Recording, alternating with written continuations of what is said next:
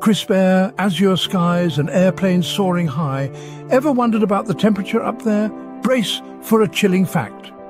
At cruising altitude, about 35,000 feet above, temperatures plummet to a bone-rattling minus 60 degrees Celsius.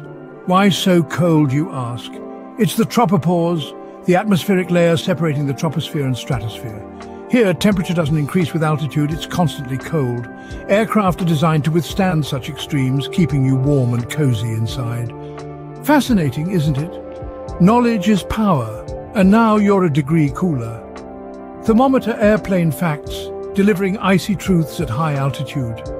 Until next time, stay curious.